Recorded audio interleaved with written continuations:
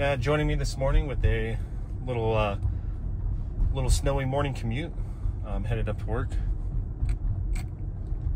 Um, woke up this morning. We're supposed to get a little bit of snow to, today, and then a lot of snow tonight. Um, but running some FSD here as we make our drive here out of my neighborhood. I'm here in the early, about 6:46 in the morning, but see if the roads are icy or not, and see you know a little bit of snow covered and how the car handles. Uh, obviously seeing the road and um, running through some full self driving here. Uh, running on 13.2.6 FSD. But good representation. Like, like I said, I've made a couple videos like this of how the car handles um, on snowy roads and possibly slick roads. I don't know if they're slick yet. I just started going, so. But we're gonna come up here, get on the state highway, um, and let's see how let's see how they handle. But but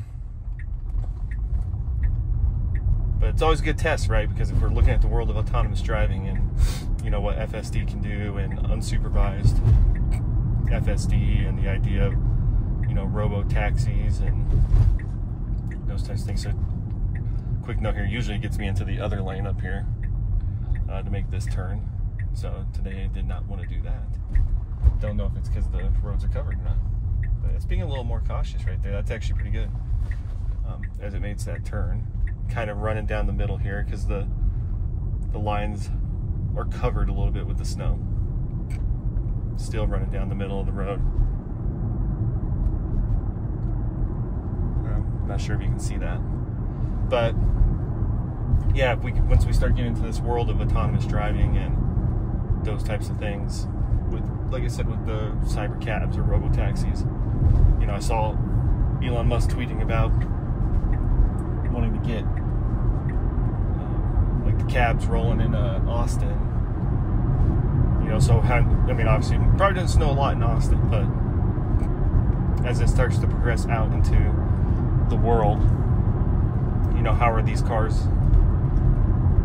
you know, self-driving cars going to be able to handle cities like, like here? This is Colorado Springs here in Colorado. Oh, we're stopping. Oh, I had to take over. So because it got a little slick right there. So there you go. Kind of ran that.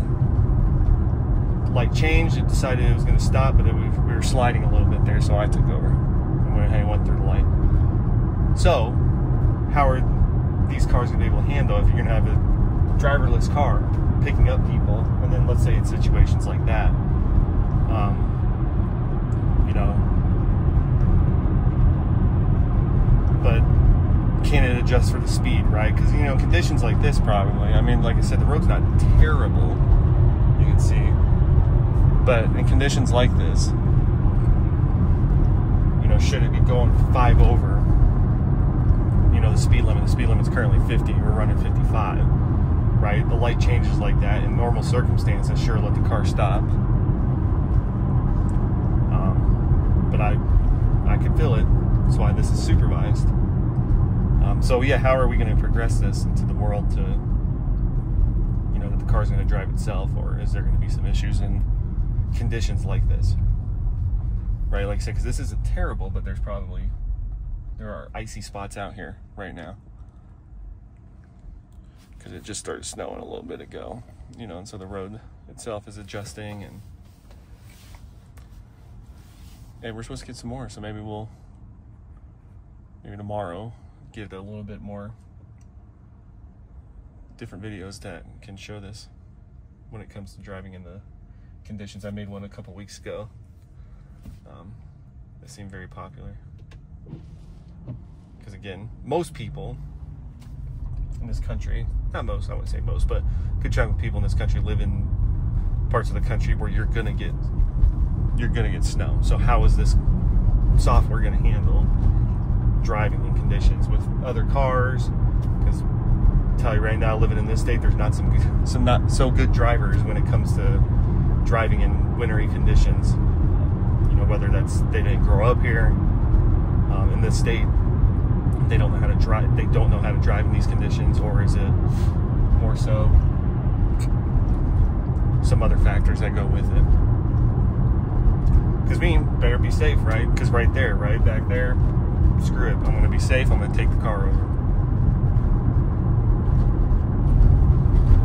But as these get better and better, hopefully, let's say, who knows, by version 14, I don't know, maybe that's where Tesla's at with this. I'm trying to, you know, make the software a little bit better in terms of, you know, driverless cars. Is version 14 going to be the one that that does it for them? Again, now we're going to come down a hill here, and cars are braking ahead, and it's going to get over at least. Like, when is it going to slow down? Right? It, obviously, it's not going to know if the road's icy unless it starts feeling those tra- those traction pieces of it, where it's going to have to adjust wheels and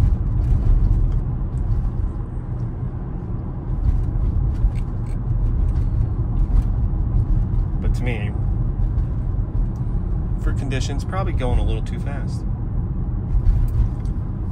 Personally, I would not be driving this fast.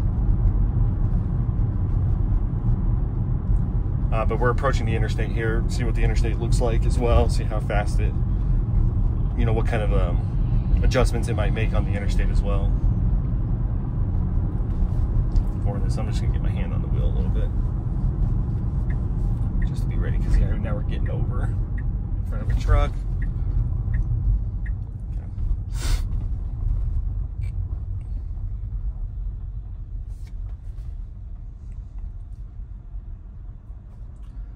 yeah, we've had a you know night good temperatures yesterday, but a blast of cold air that's come in.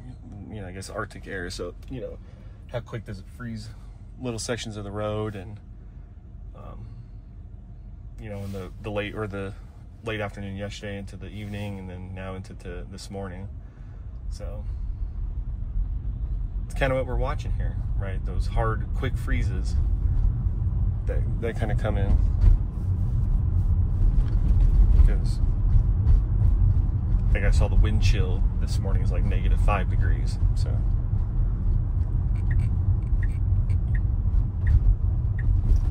But let's get on the interstate and see how this works or how this does. And I'm a little cold, so I'm gonna bust up the heat.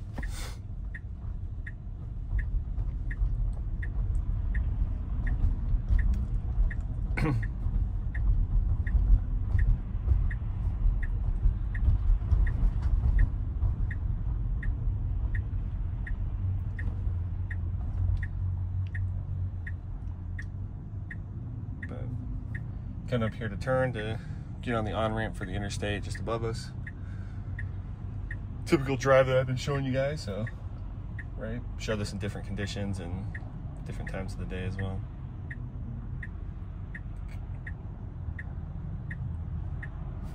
Snow falls.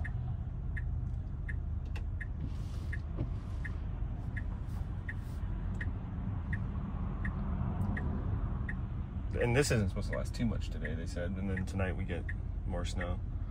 But we'll see what maybe what after work looks like. Maybe I'll pop up a, another video coming down. But double turn lane here. That car on my right is not in their lane. There it kind of goes. Good thing around here is they've picked up a lot of the construction cones that they've been doing in this area. And I know I've said it before in other videos, it's a pretty high pedestrian traffic area as well.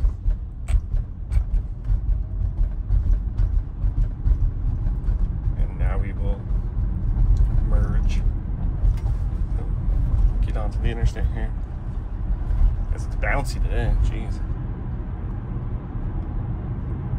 But interstate should be fine when it comes to road conditions here. Looks like traffic's pretty doing pretty well.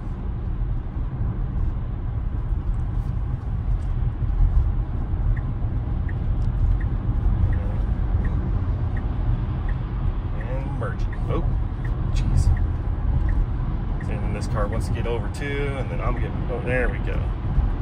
So there you go. A little bit more dicey than expected to get on the interstate here and see how fast we're going. You know, maxed out at 80. So I'm going to drop that actually because I don't want to go that fast today. But there you have it. So just a quick little 10 minute video to show you these conditions and how FSD works. Again, running version 13.2.6. But just kind of give you a glimpse of what it might look like. So, all right, until next time.